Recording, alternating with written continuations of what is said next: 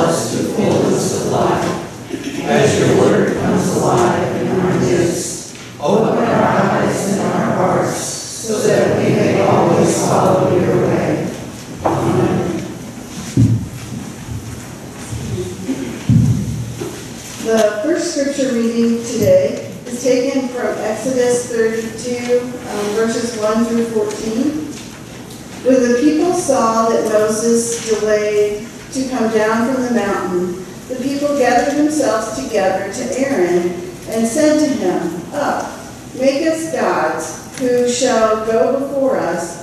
As for this Moses, the man who brought us up out of the land of Egypt, we do not know what has become of him. And Aaron said to them, Take off the rings of gold which are in the ears of your wives, your sons, and your daughters, and bring them to me. So all of the people took off the rings of gold which were in their ears and brought them to Aaron. And he received the gold at their hand and fashioned it with a graving tool and made a molten calf. And they said, These are our gods, O Israel, who brought you up out of the land of Egypt. When Aaron saw this, he built an altar before it. And Aaron made proclamation and said, Tomorrow shall be a feast to the Lord. And they rose up early on that on the morrow and offered burnt offerings and brought peace offerings. And the people sat down to eat and drink and rose up to play. And the Lord said to Moses, Go down, for your people whom you brought out of the land of Egypt have corrupted themselves.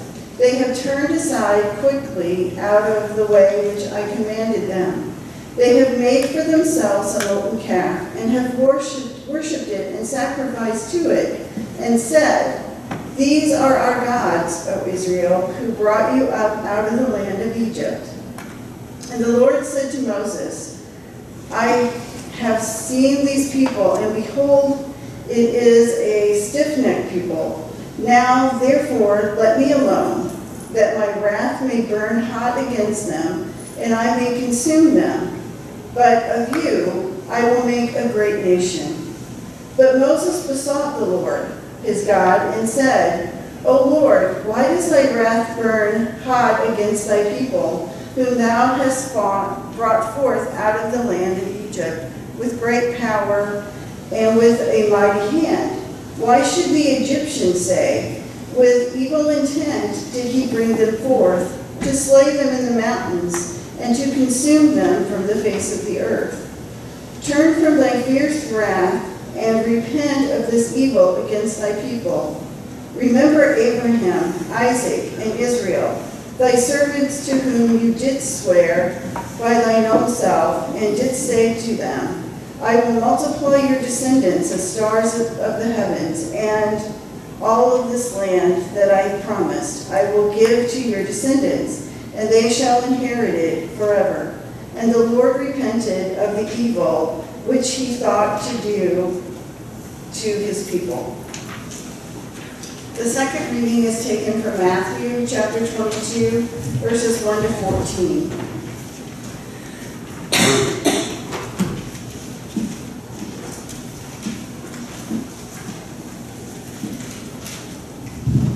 And again, Jesus spoke to them in parables, saying, The kingdom of heaven may be compared to a king who gave a marriage feast for his son.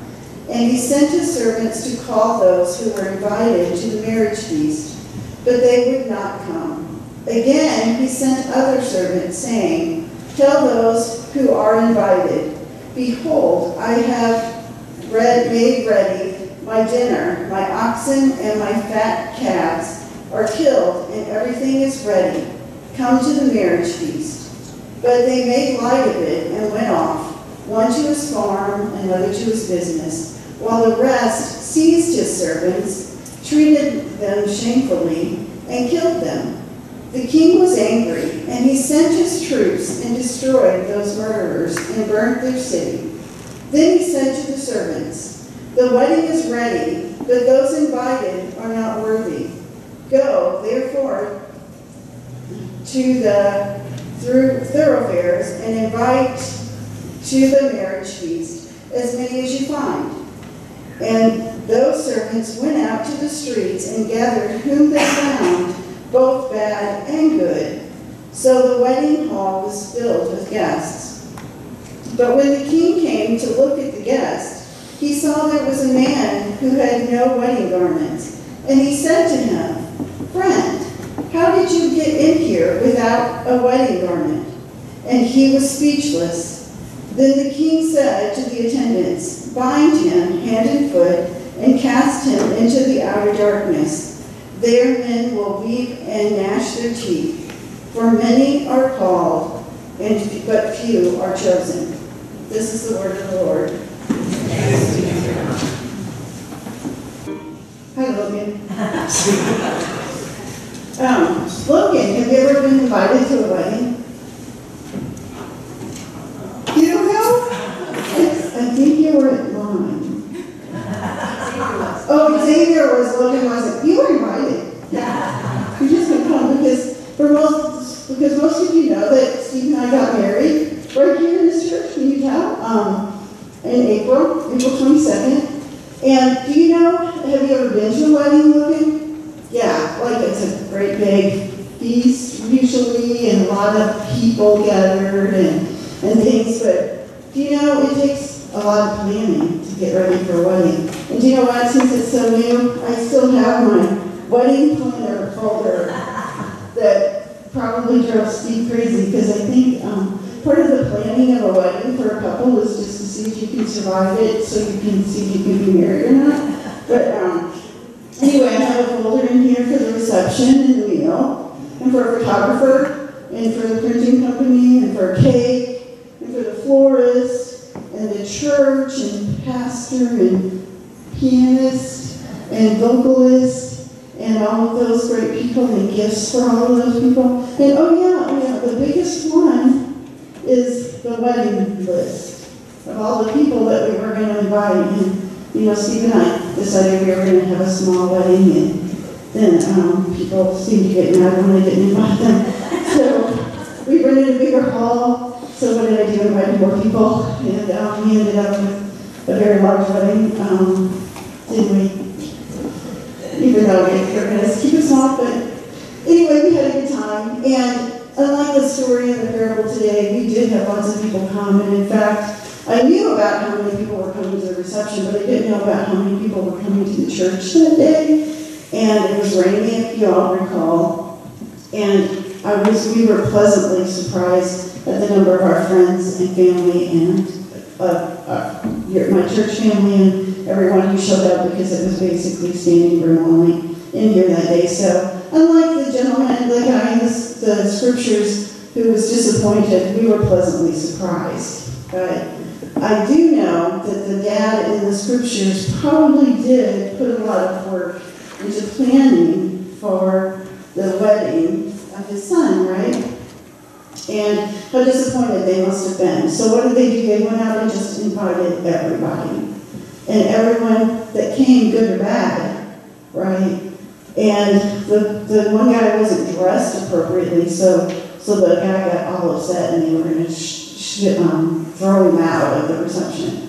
So um, Jesus really likes to talk in parables, and he's really talking about God being the king, and his son would be Jesus. And all of us have this wonderful invitation to a celebration in heaven someday. But we have to show up to that invitation dressed appropriately. Probably not our clothes, but our hearts have to be ready for that invitation to be fulfilled. So just remember that everything we do on a daily basis, we need to do to honor God. So we're ready to, to claim that invitation someday. Okay? Let's say prayer. Still have to hold my hands. Dear God, thank you for inviting us to your party. Help our hearts be ready to receive it. Amen. I was sick this past week and I did not get anything done. So I am way behind now. Um, so starting tomorrow morning, I have a million things to do. A million. A million? Wait, wait, wait a minute. Have you ever heard that expression? You have a million things to do? No, I don't have. Even though I was out all week, I don't have a million things to do. I have several things to do. Hyperbole, once again. And the greatest example of hyperbole that I, I always like, it comes from one of my favorite movies, and I know a lot of your favorite movies as well. It's a Wonderful Life. You know the movie, It's a Wonderful Life. You know, we're going to start watching it as we get closer and closer to Christmas again now. Um, and George Bailey, of course, in that story was a young man first, um, in high school, and he sort of had a crush on this girl named Mary, if you remember. Um, and they both ended up going to this dance. They didn't actually go together, but they were both at the dance, and they ended up dancing together on the high school gym floor. Do you remember that? This was a real strange gym floor, and they were doing the jitterbug and everything else and dancing and just really into each other. And they didn't notice that somebody had flipped the switch, and the gym floor actually opened up, and there was a swimming pool underneath. Uh, have you ever seen that before? But, but anyway, I, you know, it was in the movie, so you know we'll go with it. And of course, George and Mary are dancing along there, and eventually they end up in the pool, uh, soaking wet. And then the next scene, you see them, they're walking home. George is walking Mary home. Do you remember that scene? Mary has on this bathrobe, and George has on this stupid looking sweater thing. You know, they've obviously put on some dry clothes because all their clothes are soaking wet. And they're walking home, and this big moon is shining up there in the sky. Do you remember that? And George, he's getting, you know, he's getting pretty much into this at this particular time. And George says to Mary, Mary, whatever you want, just ask me. Whatever, anything you want. If Mary, if you want the moon, just ask me for it, and I'll throw a lasso around the moon and pull it down and give it to you. Uh, no, it's not. Hyperbole. George is using hyperbole there with his uh, his beau, his, his girl. He's uh, exaggerating a little bit, but he's trying to make the point to her, a very important point, of course, he thought, and that's why we use hyperbole, is to make an important point. Now, all of that setup about hyperbole to get you to my church history instructor that I had in seminary. Second and third year that I was in seminary, I had this church history instructor. He was a young man, a lot younger than me, actually. And he made some outrageous statements in a seminary, in a church history class. Now, I was an old history teacher. I taught history for many, many years, and there's certain things you're supposed to say and not say as a, the authority when you're up there in front of the classroom. You don't make these crazy, outrageous sta- statements about what may have happened, but this professor did. He did it very regularly.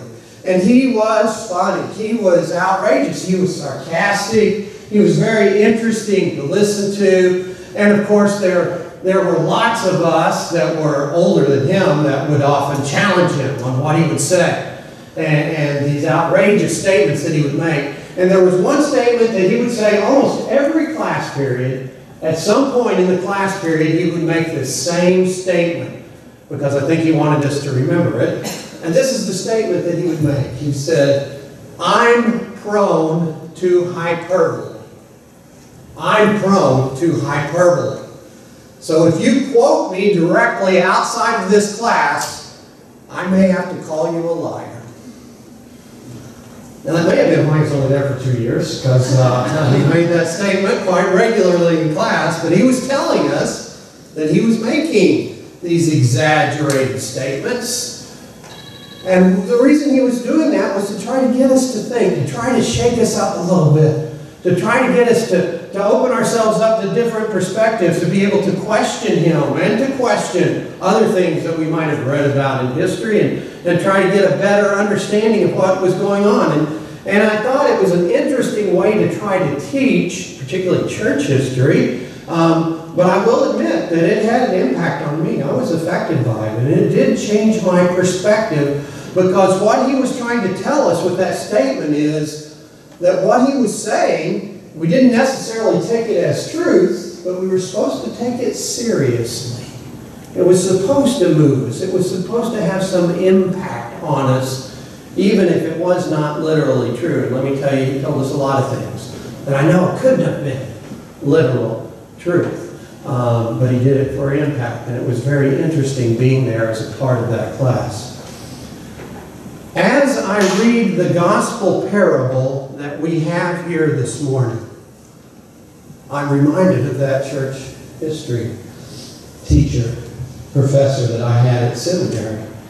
Because as I read this parable that Jesus is saying, I'm wondering to myself, is Jesus actually using some hyperbole here? Let's think about it for a minute.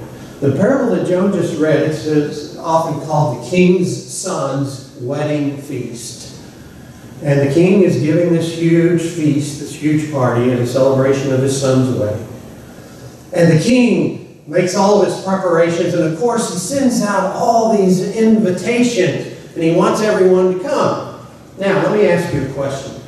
Have you ever received an invitation to a party? Not Joan and Steve's reception, I know, but have you ever received an invitation to a party that you didn't really want to go to?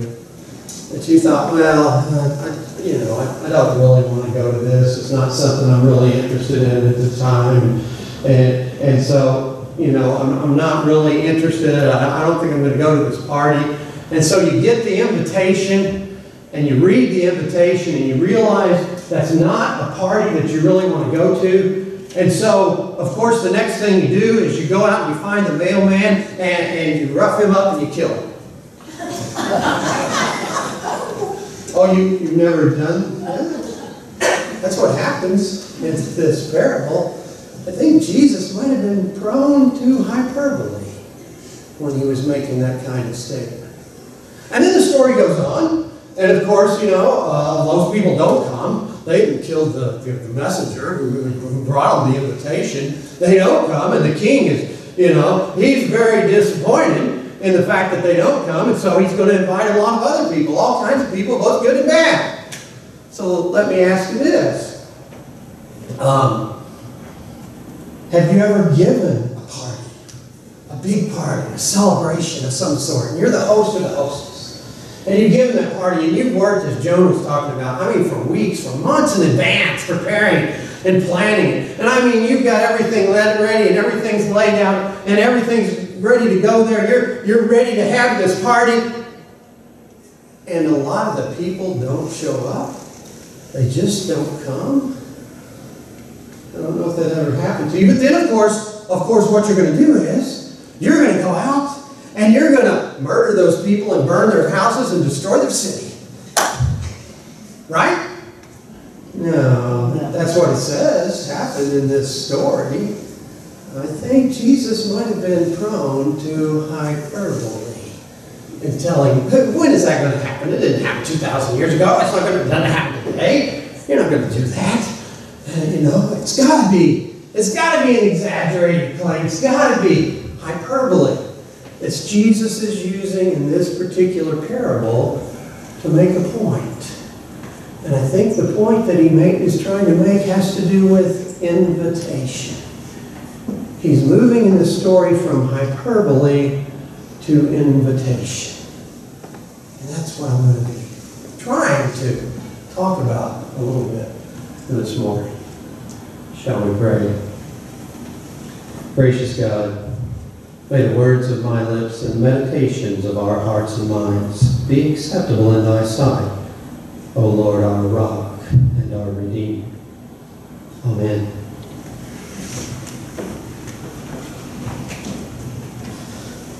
This parable of the king's son's wedding is so outrageous, it's so shocking that it, that it begs to be taken seriously, but I think not literally. Not literally. It begs to be taken as truth, but not as historical fact. Besides, if you listen to this parable and you conclude that God is an angry king, like it's talked about in this parable, or like maybe we heard about in the Exodus passage where he was going to kill all of his chosen people. And if he doesn't get his way, that God is going to destroy his people and burn their cities. You know, that simply doesn't fit with the God that is revealed by Jesus Christ throughout all four of our, our Gospels in the New Testament. If we tell this particular story as the gospel truth, I think Jesus might call us liars. Because that's not how it's done. No doubt this is a parable of judgment, but it may, may not be the judgment that we think it is. Speaking about that first group of guests, the king says, those invited were not worthy. By implication, to our way of thinking, well, if he says those that were invited first were not worthy, well, then the second group that came, they must be worthy, right? That, that, that's sort of how we think of, of, of of judgment. and I think we, as human beings, we, we tend to get nervous, and I think we tend to get a lot fearful when God begins making judgments. We're calling this a judgment that God is making. Worthy, not worthy. Well, are we in the first group? Not worthy? Are we in the second group? As the worthy people? Are we worthy? Are we unworthy? What does this parable mean for us? And I suspect that our nervousness and fear about God's judgments arise from the assumption that we make as human beings that God judges us in the same way that we judge other people. And you know, when we judge other people, when we make judgments about other people, our judgments are, are often judgments of exclusion. Judgments of exclusion. Um, we're excluding others, we're judging them, we're saying, no, you know, we, we have come down on them, we judge them, they're excluded from whatever it should be, whatever it could be. Well, I'd like for you to think about something this morning. What if it's just the opposite with God, as it so often is? What if Jesus in this parable is trying to shock us into seeing that the kingdom of heaven is not business as usual according to human standards? What if God's judgment on our lives is a judgment of grace, a judgment of acceptance, a judgment of invitation, really a judgment of inclusion instead of exclusion. If that's true, if God's judgment on us is a judgment of inclusion, then what is it that separates the first invited guests in this parable from the second group of invited guests? The difference isn't that one was more deserving than the other. The first invited guests were the recipients of the king's invitation. They were obviously the recipients of the king's favor in the first part of this story. But so were the second invited guests. They were also invited guests. And so was the man who showed up without a wedding robe. They were all invited. They were all favored. None of them had done anything to, to deserve the king's invitation. It was just given. And I think Jesus is saying if that's true for them, it's also true for us. We are all invited. We are all included. The difference isn't that the king likes one group more than the other group. His sole motivation in this parable is to share his banquet. That's what he wanted to do. Wanted to share his banquet. He wants someone, he wants anyone he wants everyone to join in his joy and celebration and be part of his kingdom and part of his life. That's what he's looking for in this particular parable. Both groups of people were given that opportunity.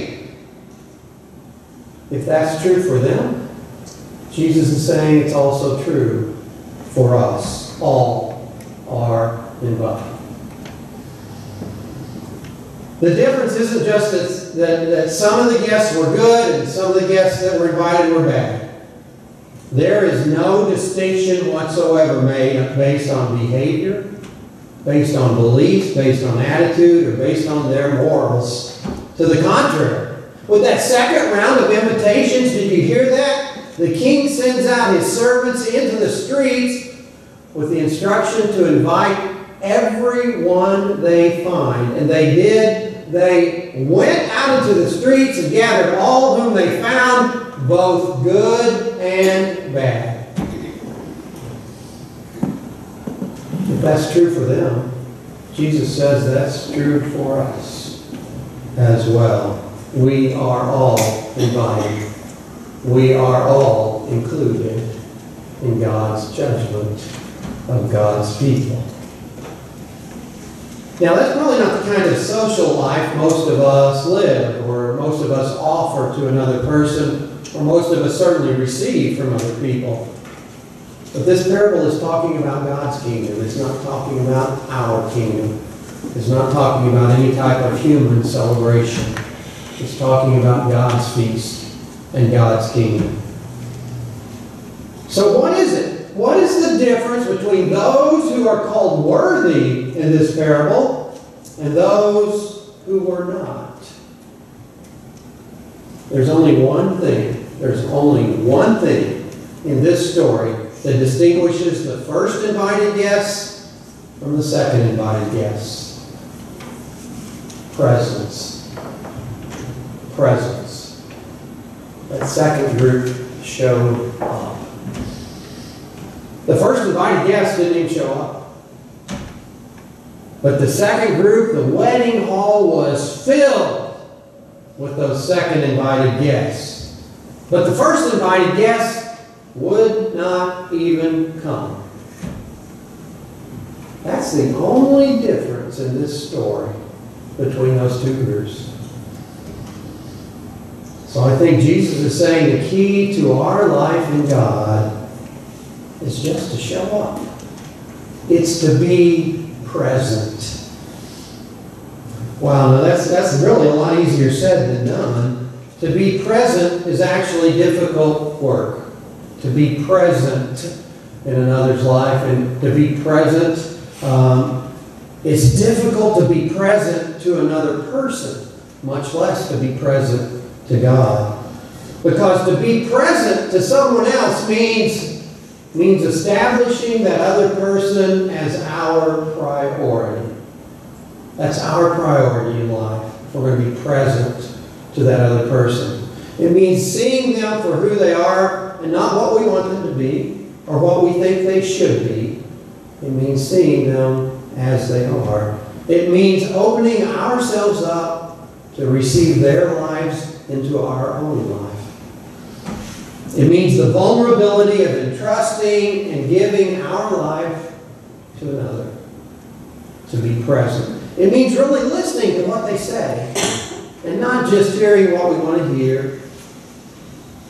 It means letting go of our own agendas, our own distractions, our own fears, and our own prejudices just to be present to them. It means bringing and offering all that we have and all that we are to that person.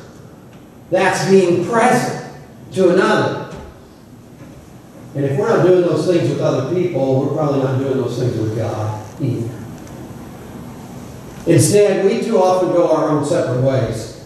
We go to our businesses, we go to school, we go to work. We're too busy. We're too tired. We're too distracted. There's work to be done. There's money to be made. Uh, we make light of the other's life and what may be offered to us. And if we don't earn it, if we haven't worked for it, we assume it doesn't really have much value. You know, that's what our society tells us. You get what you pay for, right? That's, that's, that's the way it is. We're convinced that there are better things to do and better places to be. That's exactly what the first invited group did. I don't want to go. I don't want to show up. I don't want to be there. There are better things to do, better places to be. It's exactly what they did. What they did not realize, and what we sometimes don't realize either, is that really is, there is no life outside of God's banquet. No true life outside the kingdom of God. To show up and to be present is to be worthy before God. It's that simple. And it's that difficult. We don't earn or prove our worthiness as a prerequisite to entering the banquet. We can never earn or prove our worthiness. We just show up. We just be present and we discover for ourselves the worthiness that God has always known about us. And that, that's when our lives begin to change, my friends. But wait a minute, Pastor Steve, there's one more person in this story. There's a guy who did show up, but he didn't have a wedding robe on. What, what's that all about here? Well, I think, as, as Joan was mentioning, I think this is more than a dress code violation of going to a wedding party. Something else was missing. Did you hear what else it said about this man? Besides the fact that he didn't have his a wedding robe on? He was speechless. He was speechless. He didn't have anything to say. It was as if he wasn't really there. He was a bump on the log. Jesus is reminding us that there are times when we show up, but we're not really present. Our body is there, but our minds have left the room. So here's what I wonder about this guy. What if this man had said something?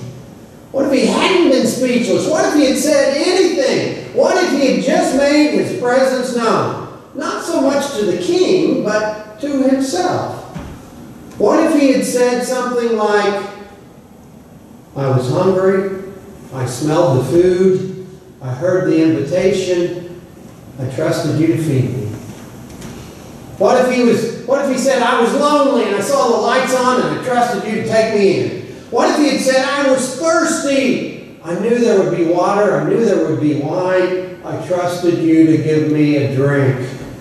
What if he said I was naked, I knew people would be well dressed, I trusted you to clothe me? What if he said I was sad and grieving, I heard music and laughter, I trusted you to share your joy? What if he said I was empty? I saw abundance. I trusted you to help fill me. What if he'd said I was dying? I saw the door was open and I trusted that you could help give me life. What if he'd said any of those or a thousand other things like them? You know what I think? I think it would have been enough.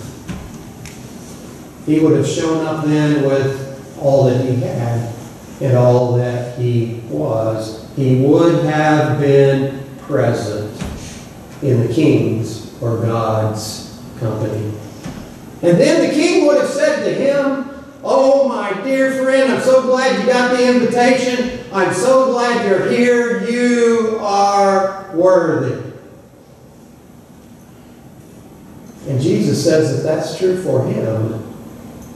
It's also true for us.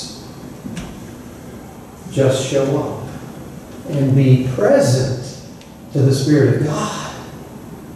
And then you are worthy as well. You are invited. Thanks be to God. Amen. Let us respond to our word this morning by rising once again either in body or in spirit and singing our hymn of response, which is page 488, Just As I Am. Shall we rise together and sing our response?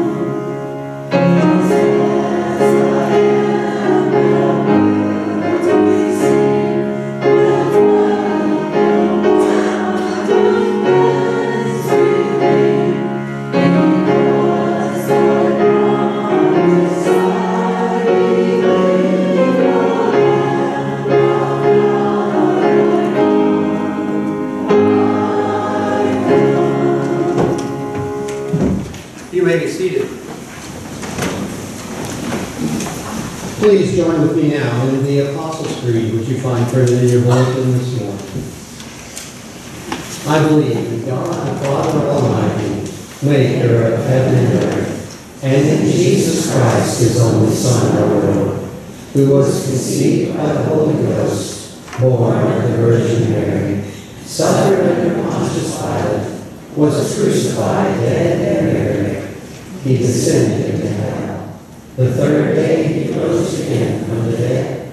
He ascended into heaven and sitteth on the right hand of God the Father Almighty. From thence he shall come to judge the quick and the dead. I believe in the Holy Ghost, the holy Catholic Church, the communion of saints, the forgiveness of sins, the resurrection of the body, and the life everlasting. Amen. We now come to that place in our service where we have an opportunity to give back, to share of what we have been blessed with in our lives, to share with those who are in need, with all of those who suffer and feel pain in this day and throughout God's kingdom. We want to share His love and peace with them. So, as our ushers come forward this morning, and as our choir sings our special music, be generous in your gifts.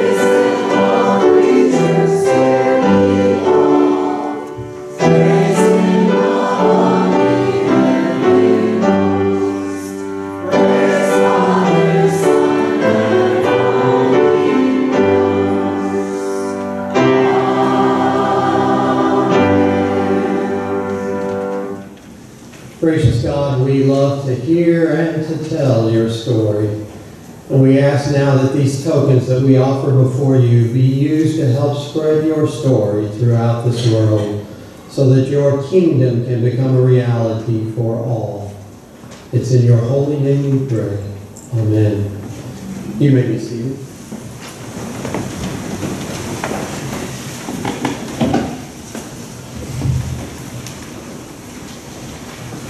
Let us now pause for just a moment of silence as we prepare our hearts and our minds for prayer. Shall we pray?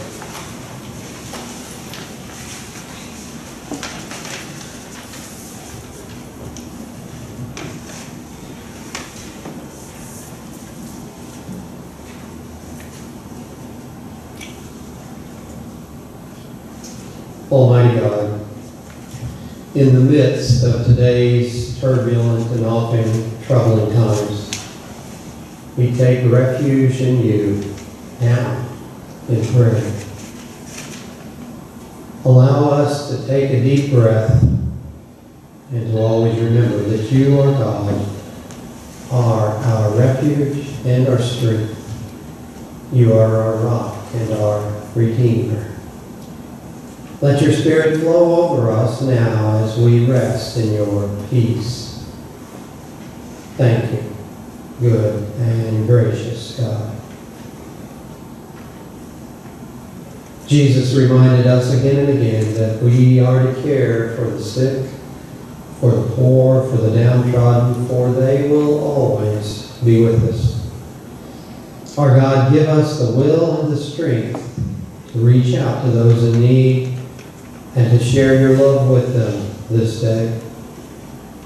Both those that we may have mentioned by name or have listed in our bulletin, and those many who are unmentioned, unlisted, but who we hold in our thoughts and in our prayers. May your peace surround them, and may your love embrace them now. Continue to be with us, our God, as together we repeat the prayer Jesus taught us, saying, Our Father, who art in heaven, hallowed be thy name. Thy kingdom come, thy will be done, on earth as it is in heaven. Give us this day our daily bread, and forgive us our debts as we forgive our debtors. And lead us not into temptation, but deliver us from evil. For thine is the kingdom, and the power, and the glory forever. Amen. Let us now rise one last time, either in body or in spirit, and sing together our closing hymn, which is, O Jesus, I have promised, found on 676 of your hymn. Shall we rise and sing?